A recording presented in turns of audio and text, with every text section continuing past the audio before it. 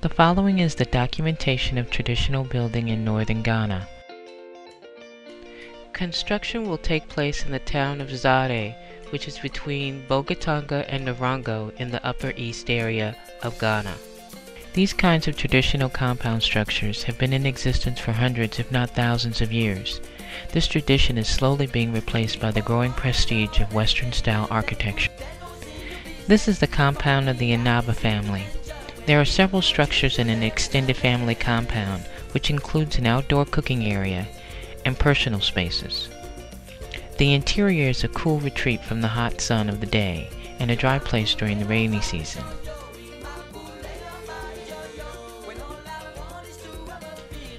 Structures are often painted after the rainy season. Because of the labor-intensive quality of this, oftentimes buildings are left unpainted for several years. For this video, we are building a traditional woman's room. This will be a round structure with a flat roof. The building on the far left was built nine years ago and recently repainted.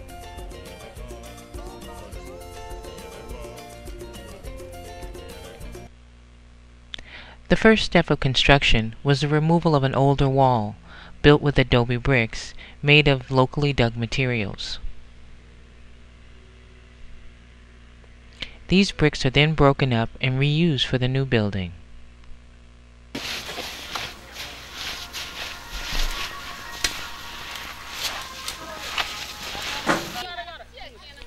Water is carried in by the women from the nearby well to reconstitute the old bricks. This is a community project with everyone helping out.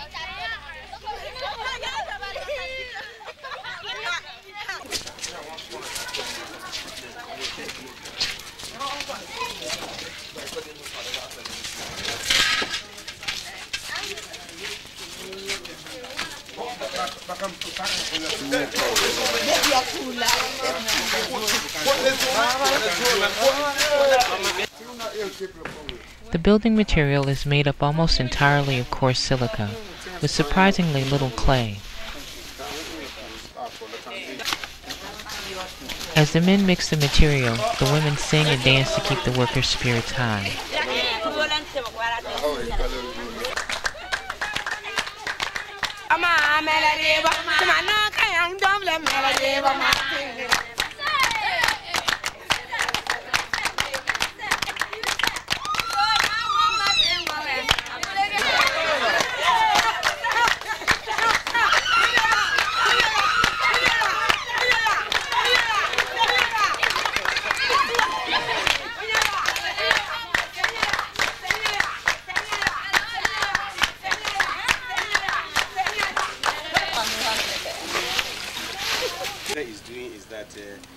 Getting that dimension of the wood, uh, which we, we call the bomonko.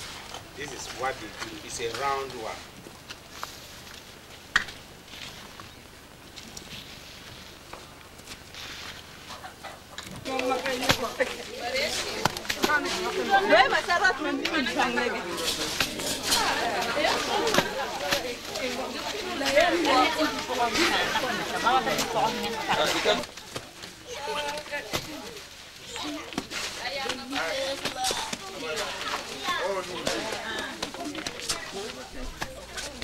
Process of building creates a sense of community and a cultural bond while passing on important traditions to the next generation.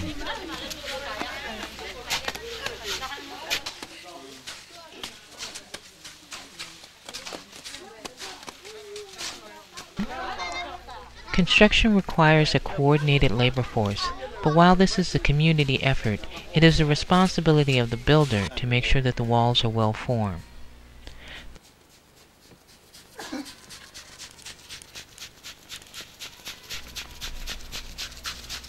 Builder Sobila Atote, age 34, forms the walls of the structure using only a stick.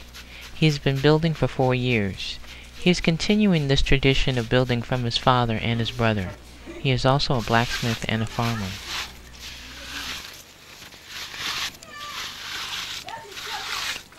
Is the first layer, uh, and uh, by tomorrow or tomorrow next, the second and the third layer uh, will be put on top. And we hope to get about five uh, to eight layers before the room will be completed.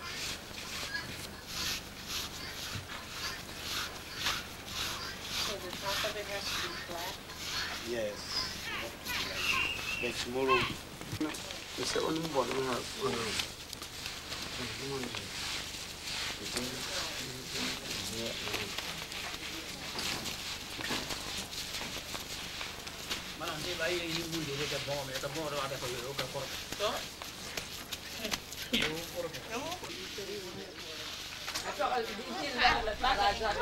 Everyone works together to supply the builder with compressed balls of building material, which he presses into place.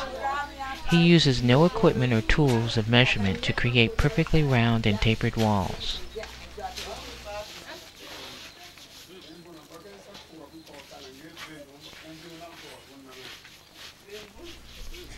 The first layer took about two hours to complete. The following layers are added until the desired height is obtained. One layer is added in the morning and the second layer in mid to late afternoon. Each layer is approximately 12 inches high. After 10 to 12 hours, it shrinks down to about 10 inches.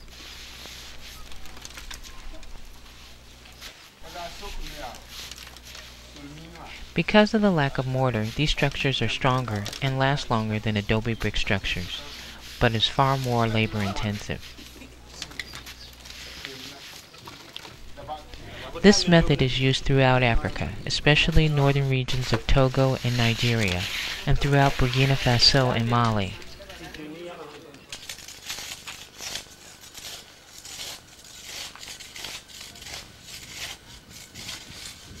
This is about the sixth layer, and um, we are now doing the opening. If we don't do it at this time, the, um, it will be so hard and difficult that it will take us a lot of time uh, to, to open it.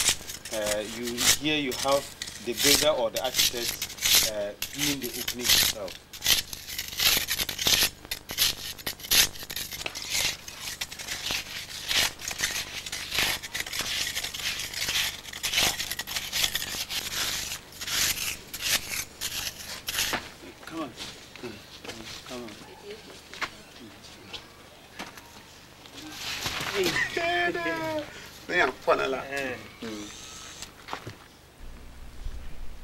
The traditional small opening was created as a form of protection from the sun, rain, and intruders. As a woman's birthing room, it is also a visual metaphor for a womb.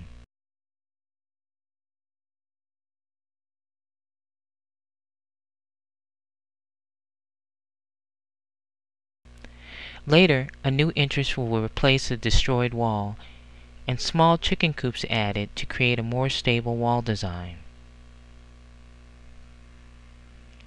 A grinding area and stairs will complete the enclosed compound area.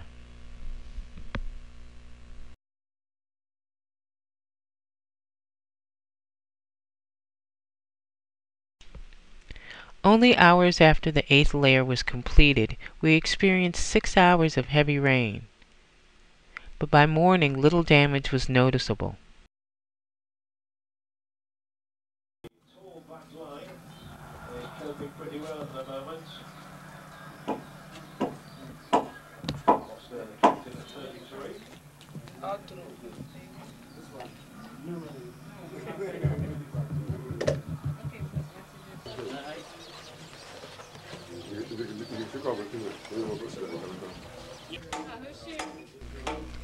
These men are experienced roofers.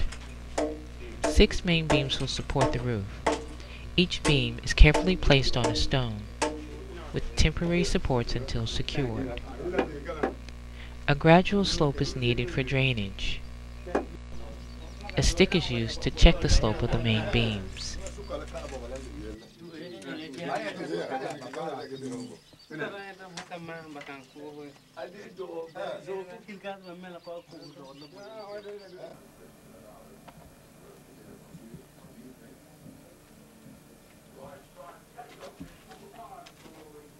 This area of Ghana is not as forested as the Ashanti regions to the south.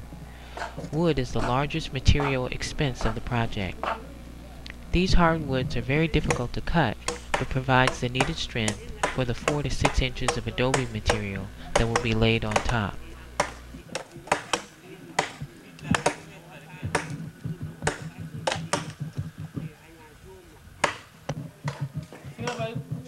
Flat roofs may serve many purposes, including a sleeping area, which takes advantage of cool evening breezes and provides an amazing view of the stars at night.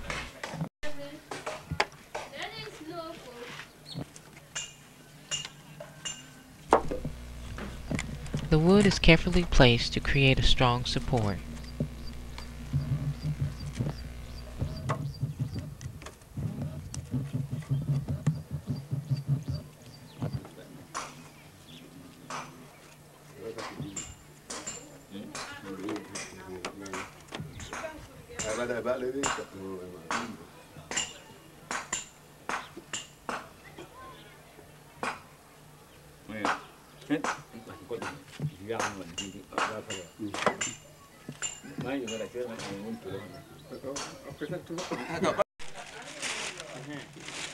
This project is not without innovations.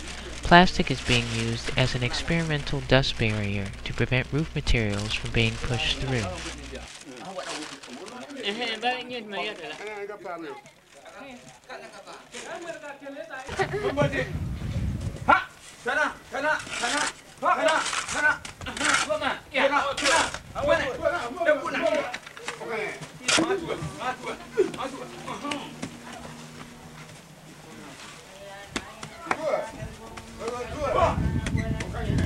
After the roof is completed, another layer is added to the edge to create a low wall around the roof area.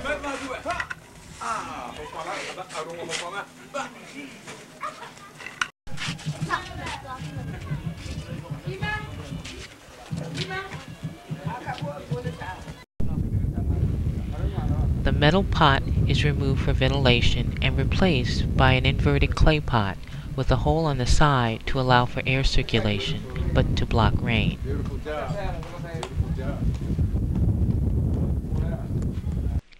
After the roof is completed, the outer wall will be extended by one layer and a draining hole added.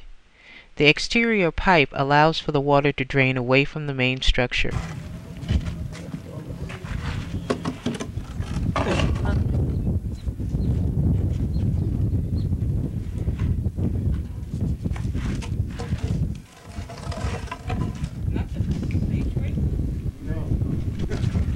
When the timber supports are removed, the men's work is finished, and the women's surfacing work begins. The plaster used is a finer version of the wall material mixed with cow dung. All the work is done by hand.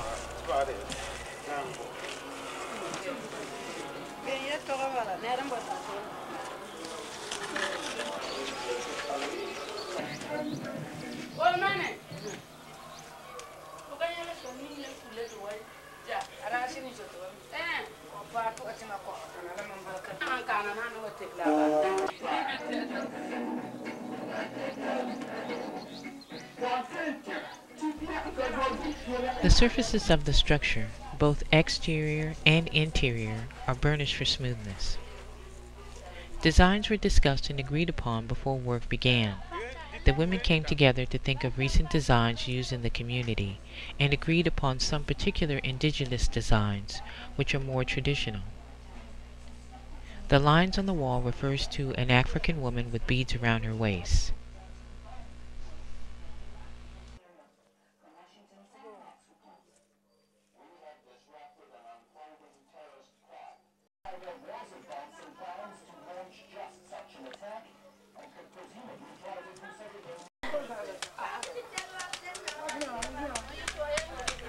After the walls are burnished, a red stone rich in iron is ground and mixed with water and cow dung for painting.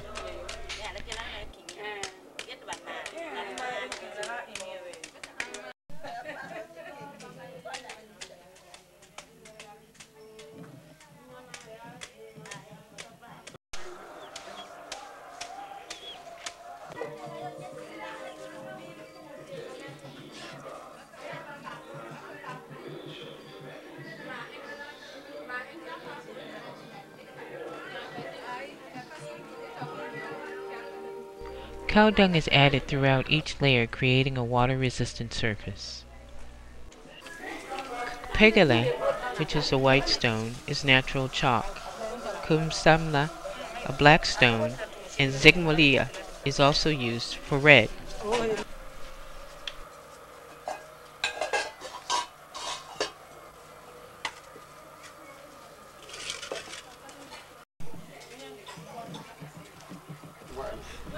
Many of the abstract designs refer to solidarity and togetherness.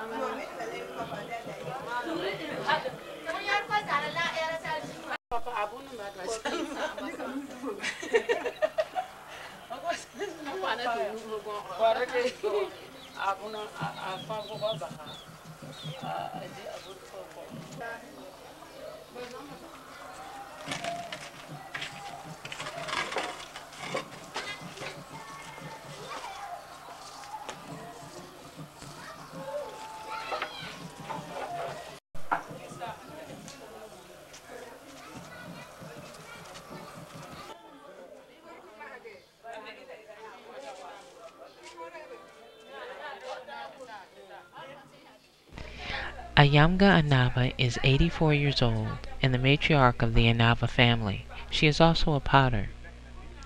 Many of the women are also potters. They have been working together for the last three to four days plastering and painting the structures.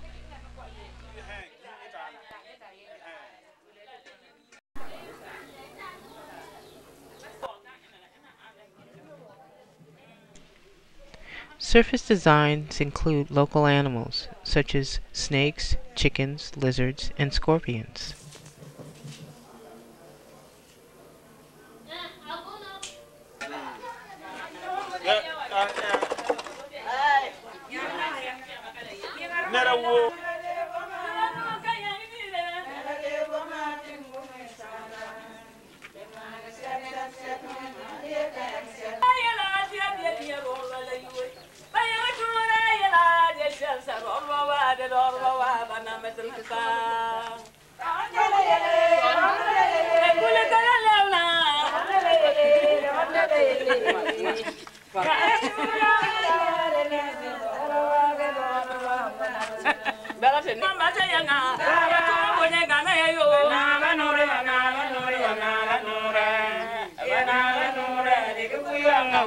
Dawa si kulon ni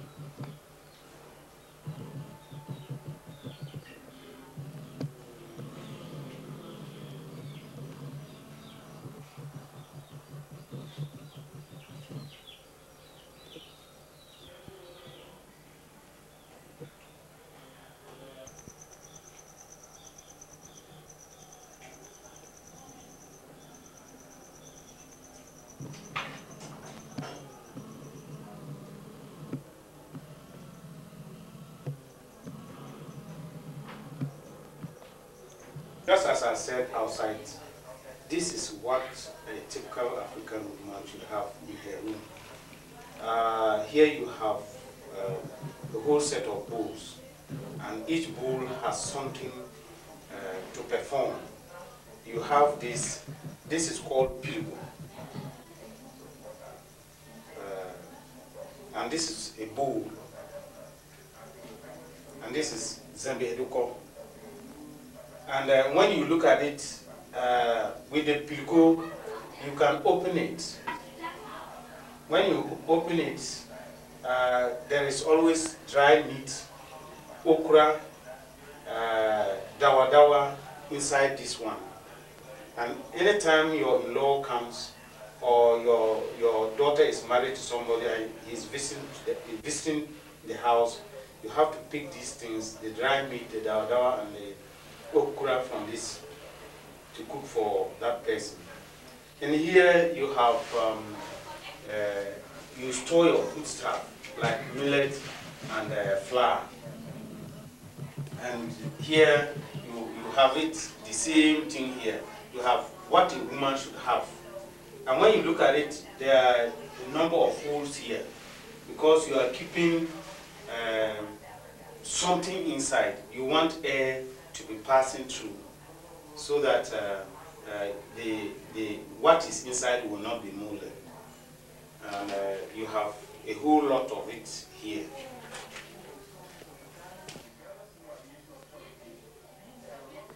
You should have a basket where you put uh, uh, some of your materials and your broom, that one is always in the room where you sweep your room after every morning when you are up. And what we have here is a whole set of calabashes. Uh, and all the calabashes the woman needs, like uh, calabashes for TZ, when a stranger comes, calabashes for making fly water, when uh, you, you are from the farm, you want to drink fly water, there are calabashes. Then here you have, um, uh, this is called tusunko. Uh, you put in your hair whatever you want to carry, you carry that. And when you look at the whole thing, this one is called Zalanga in Gruni.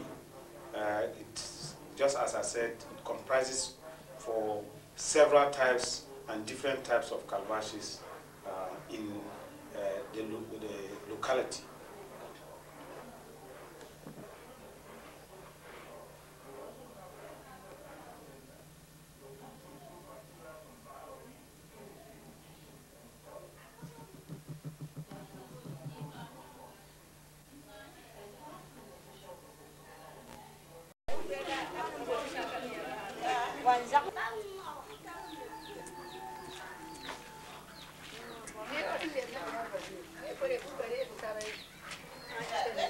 Women had been united. They have been there for over two, three, four years. And this is uh, the community work they have been doing. Uh, we are grateful to the university and actually to Mampo and the husband, Mr. Martins, who have come to uh, actually uh, help this woman to do such a wonderful job. We are, we are grateful to the university.